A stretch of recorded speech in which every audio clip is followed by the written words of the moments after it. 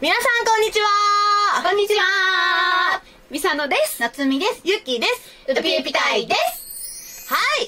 今日はですね、ウピウピ隊から皆様にご報告があります。実はですね、4月27日でウピウピ隊はちょうど13周年を迎えます。はい。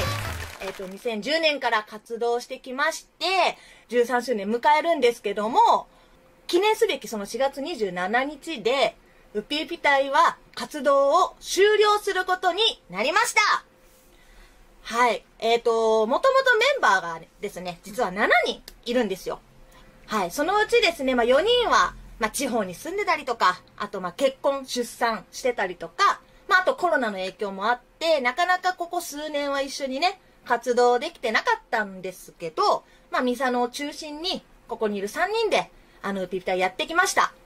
まあ、しかしですね、まあ皆様もご存知の通り、えー、おととしでね、おととし、はい。夏美もはい。結婚いたしまして、はい。で、私も実は先日、結婚いたしました。ありがとうございます。おめでとう。ありがとう。ございますありがとう。ありがとう。ということでね、まああの、ほとんどが既婚者に なりましてですね、まあ今まで通りなかなか、あの、活動は難しくなるだろうということで、まあ、7人でちょっと話し合いまして、一旦区切りをつけようって話になりました。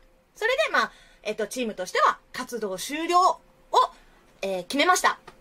だがしかしですね、しかしです。私たち一サバゲーマーであることは変わりなくてですね、今後もずっとあのイベントとか、あのサバゲーには参加し続けますし、えっと、これを今見てるこのウピチューブですね。このウピチューブはずっと継続されていきますので、そこでまた私たちはこの個々のね、活動になりますけど、サバゲしてるとことかね、なんかやんちゃしてるとことかね、見てもらえたら嬉しいなと思います。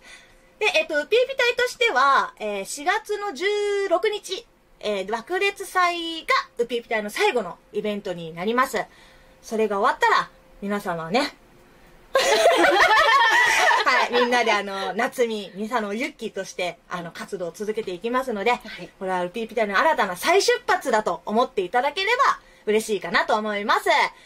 長い間ね、たくさんの人に応援してもらいましたけども、今後もずっと応援したくなるような、あの、サバゲーマーでいたいと思いますので、えっと、引き続き皆様、応援どうぞよろしくお願いします。お願いします。大丈夫？やるな、最後の最後で。絶対編集せずに使ってね。わかりました。使います。ね、はい、こんな私たちですけども、皆様今後よろしくお願いします。はい、以上、ピーピタイでした。バイバイ,バイバ Ha!